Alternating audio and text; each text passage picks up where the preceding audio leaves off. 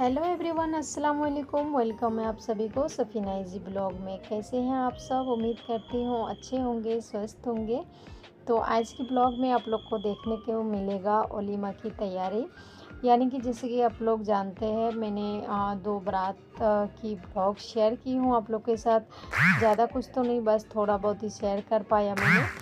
और ये मतलब बारात के आने के बाद मतलब रात में बारात आ गए थे ये दूसरे दिन मॉर्निंग का टाइम था। तो मैं मैंने मॉर्निंग से ही ब्लॉग आप लोग के साथ शेयर करने की आ, कोशिश किया कि मैं छोटा छोटा मोटा जो भी हो मतलब क्लिक निकालो।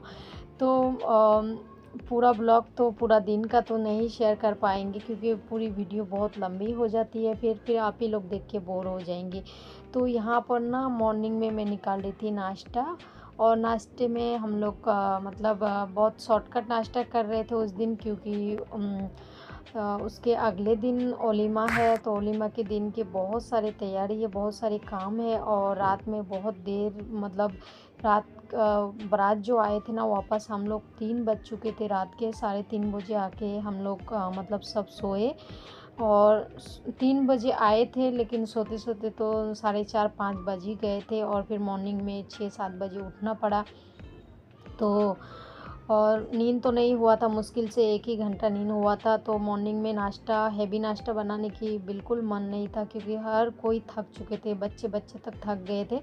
तो बस शॉर्टकट नाश्ता निकाले थे और शॉर्टकट नाश्ता बोले तो ये कुरमुरा फ्राई किए थे भेल बनाए थे और जो कच्चा पोहा होता है उसको हम लोग प्याज और ये डाल के ना चना चना ये सब डाल के उसको फ्राई करते हैं।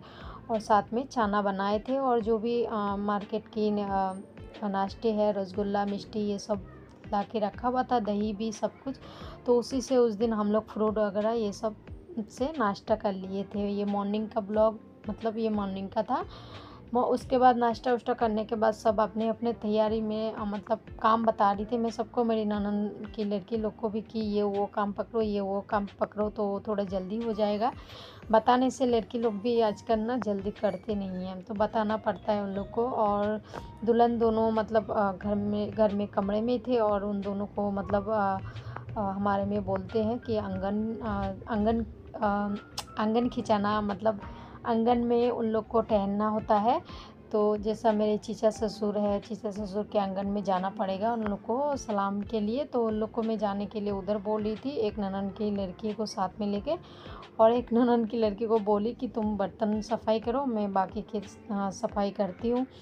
क्योंकि रात में आ, सब बारात आए थे बारात आने के बाद सब कुछ इधर उधर फैला हुआ था और दहेज भी देख सकते हैं पूरी गली में ऐसे ही इस तरह से बालकनी में फैला हुआ ही है। और आ, कमरे के अंदर नहीं डाले क्योंकि सब आके थक गए थे। जिधर का सामान जिधर फैला हुआ है जो जहाँ पर जिसको बिस्तर मिला चादर मिला वो वहीं पर सो गए। कोई सोफे में सो गए तो वो सब कुछ अभी हटाना है समेटना है। और ओलिमा के दिन के लिए ये सारी तैयारी है सामान आ चुके थे। और ये है पानी के बोतल जो कि अढ़ाई हज़ार यहाँ पर पानी के बोतल थे। और पूरा तंदरी दावत की मेहमान के लिए और दोनों दुल्हा के मतलब दोनों दुल्हन के मायके से मेहमान आएँगे। तो दुल्हन को लेने के लिए आते हैं हम लोग में तीसरे, चौथे दिन में। बारात से जब दुल्हन को लेके आ जाते हैं ना तो चौथे दिन में दुल्हन को लेके जाते हैं लड़की वालों ने लेने के लिए आते हैं। तो एक तरफ़ से डेढ़ सौ मेहमान आएँगे, एक तरफ़ से दो सौ मेहमान आएँगे टोटल मिला के मतलब लगभग 500 मेहमान हो जाएँगे। मतलब टारगेट दिया है कि इतना इतना आएँगे, लेकिन फिर भी हम लोग 500 का टारगेट रखे हैं और हमारी जो जो हमारी दावती मेहमान होंगे वो दिन में आएँगे। मुस्लिम मुस्लिम बोवद हमारी रहेगा ग्यारह बजे से लेकर ग्यारह से लेकर चार बजे तक और चार बजे से लेकर रात के नौ बजे तक रहेगा हिंदू हिंदू भाई की दावत। क्योंकि हम लोग ने हिंदू मुस्लिम दोनों के प्रोग्राम एक ही दिन में रखे थे। दो दिन नहीं कर पाए क्योंकि ज़्यादातर हमने कोशिश किया कि दो जन की शादी है तो दोनों की एक साथ करेंगे और इकट्ठा निपटाने की कोशिश किए थे। फिर भी बहुत लॉन्ग टाइम लग गया था। एक दिन इसका बारात, एक दिन उसका हल्दी, एक दिन उसका मेहंदी। मतलब इसी तरह से हम लोग के घर में पंद्रह दिन तक लगातार चले। और ये देख सकते हैं, ये सब चावल, मसाले सब कुछ आ चुके हैं। कुछ कुछ और चीज़ें बाकी है। और खस खसी भी आना बाकी है अभी। वो उस जिस दिन ओलिमा के दिन मॉर्निंग के टाइम आएँगे लेके आएँगे सब, क्योंकि वो भी तकरीबन ज़्यादा आएगा। बहुत तो टोटल दो हज़ार के करीब मतलब मेहमान होएँगे सब तरफ़ के मिला के। और दावतिया तो ज़्यादा ही होता है।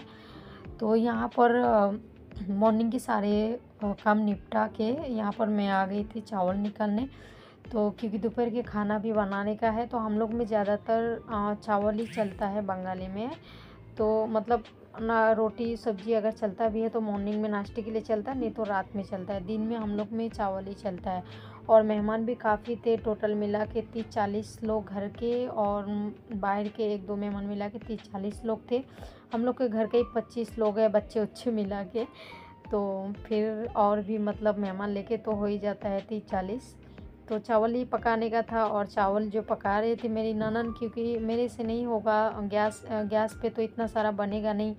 टाइम भी लग जाएगा और गैस के खर्चा भी बहुत हो जाएँगे और घर में तो हम लोग की ऑलरेडी लकड़ी वगैरह रहता है।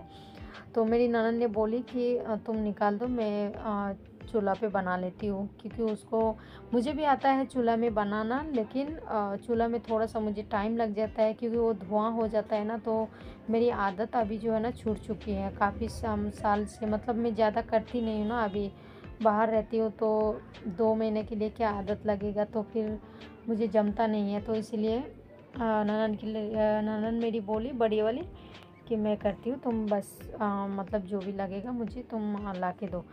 मेरी बड़ी वाली जो ननन है ना बहुत हेल्प करती है मेरी, क्योंकि उसको पता है घर के सारे ज़िम्मेदारी के काम मेरे पे हो जाते हैं, सब कुछ देखना करना। इसीलिए वो एक हफ़्ता पहले से ही आ जाती है घर में, जो भी प्रोग्राम होते हैं। मेरी ननन की, छोटी वाली ननन की शादी हुई थी उस टाइम पे भी, और मेरी मेरी एक जेठ का भी शादी हुआ। मेरा शादी होने के बाद मेरी एक जेठ का शादी हुआ उस टाइम पे भी। फिर मेरे बेटा का अकीका हुआ, मुसलमानी हुआ उस टाइम पे भी। मतलब बहुत हेल्प करती है मेरी ननन। और मतलब हर काम के लिए वो पहले से ही आ जाती है। और छोटी वाली तो उतना नहीं कर पाती है क्योंकि उसकी छोटे छोटे बच्चे हैं। बड़ी वाली के तो बड़े बड़े हो गए सब। तो बहुत हेल्प करती है। तो बस वो यहाँ पर चूल्हा में आग लगाई थी। और चावल जो हम बना रहे थे कढ़ाई में क्योंकि बड़ा डेग नहीं था क्योंकि इतना सारा दस किलो चावल कच्चा ही चावल दस किलो है तो इस, इस पकने के बाद ये कितना चावल हो जाएगा तो बहुत बड़ा भी बर्तन लगेगा। और चूल्हा भी जो हमारा था ना, बहुत छोटा चूल्हा था, उस हिसाब से डेग नहीं था। तो इसीलिए हम मतलब ये हम लोग का इसमें जो चावल का जो धान होता है ना, धान पकाते हैं तो वही कढ़ाई था तो मैंने बोला कि इसी में बैठा दो। तो बस इसमें वो चूल्हा में आग लगाई थी और ये चावल पकाने के लिए बैठाई थी। बाकी की सारी तैयारी मैं उसको करके दे रही थी। और बाकी कोई मसाला कर रहे थे, कोई मतलब बाकी सब सब काम में लगे थे क्योंकि ये ओलिमा के एक दिन के पहले का दिन था। तो उस दिन बहुत सारे काम हो जाते हैं और जल्दी काम भी नहीं ख़त्म होता है क्योंकि घर में जितने लोग होते हैं ना, उस हिसाब से उतने काम भी होते हैं। और यहाँ पर मेरी ननन की, बड़ी वाली ननन की लड़का, उसको मैंने लगा दी थी मटन काटने के लिए क्योंकि मुझे मटन काटना आता नहीं है, डर लगता है कि हाथ काट ना जाए। तो मैं मच्छी अच्छे से साफ़ कर लेती हूँ ये सब में, लेकिन पता नहीं मुझे मटन काटने को नहीं आता है। कैसे डर जैसा लगता है मुझे तो मैं उसको ही लगा दी थी उसको बहुत अच्छे से आता है। ऐसे भी लड़का छोटा हो, बड़ा हो, लड़के लोग को हर काम आते हैं इस तरीके से। तो वो बड़े बड़े पीस, मटन का बड़े बड़े पीस था तो उससे मैंने कटवा के छोटा कर लिया। और यहाँ पर छोटी वाली ननन लगी थी मसाला करने, प्याज व्याज काटने और अदरक, लहसुन छीनने और ये जो हम खाना पका रहे थे ना, मेरी न्यू वाला आँगन में पका रहे थे खाना, क्योंकि जो न्यू किचन बन के रेडी हुआ घर के अंदर, इतना सारा काम तो घर के अंदर नहीं हो पाता है, कमरे के अंदर जो किचन बना हुआ होता है, उसमें तो नहीं हो पाएगा, मुश्किल होता है। तो घर में, गाँव में तो इस तरह से खुला आँगन रहता है तो हम लोग इसी में इस तरह से चूल्हा बना हुआ रहता है तो हम लोग उसी में ज़्यादातर पकाते हैं। और खाना अच्छा भी लगता है, चूल्हे का खाना।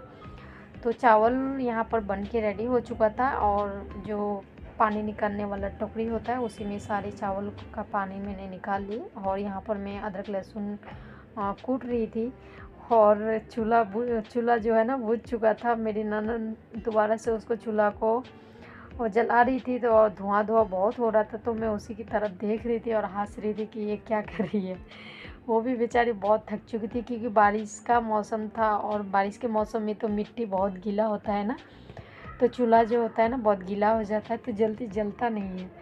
तो गुस्सा कर रही थी वो भी और यहाँ पर चावल सब पका के मैंने किचन में ला के इधर रख दिया, ढक दिया उसके बाद वो मटन पकाएगी, सब्ज़ी बन गया था और ये मटन पक रहा था। इस तरह से पकाते हैं हम लोग चूल्हा में। और चूल्हा का बर्तन आप लोग देख सकते हैं कितना गंदा होता है, बहुत इसका जो काला काला होता है ना, ये पूरा घीस घीस के निकलना पड़ता है। तो उसके बाद ये सब पकने के बाद खाना वाना खाएँगे हम लोग नहा धो के। तो ये मॉर्निंग से लेकर आफ्टरनून का ब्लॉग था।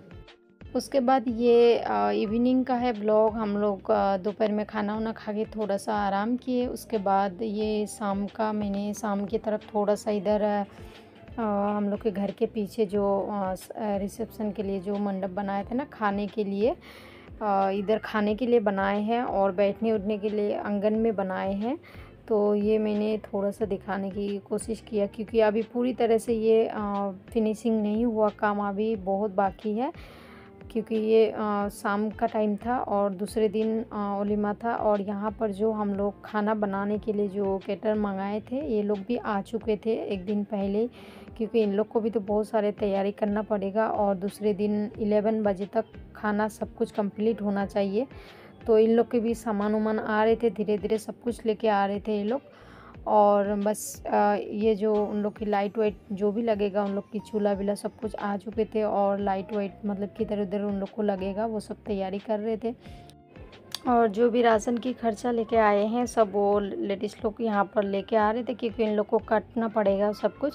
सात लेडीज़ आए थे और सात जेंट्स आए थे, इन लोग मिल के खाना बनाएँगे, पूरी रात जगेंगे, पूरी रात तैयारी करेंगे, दूसरे दिन खाना पकाएँगे, क्योंकि ग्यारह बजे तक खाना रेडी चाहिए।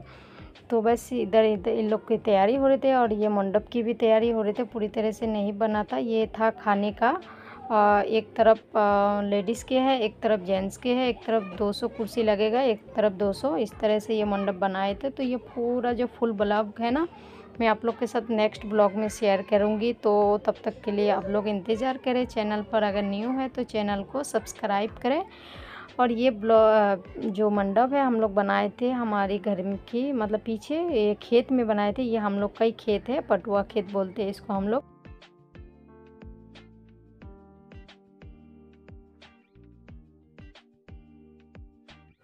तो यहाँ पर आँगन में बैठ के लड़की लोग मेहंदी लगा रहे थे और मंडप की, आँगन की मंडप की तैयारी भी हो रहे थे डेकोरेशन, क्योंकि पहला जो मंडप किए थे हल्दी मेहंदी का वो खोल दिया था, वो मैंने ऑलरेडी ब्लॉग शेयर कर चुकी हूँ। अगर नहीं देखे हैं तो ज़रूर से देख लीजिएगा, हल्दी की, मेहंदी की ब्लॉग तो ये है रिसेप्शन के लिए फिर से दोबारा से डेकोरेशन कर रहे थे तो ये पूरा रात भर इसकी डेकोरेशन चलेगा।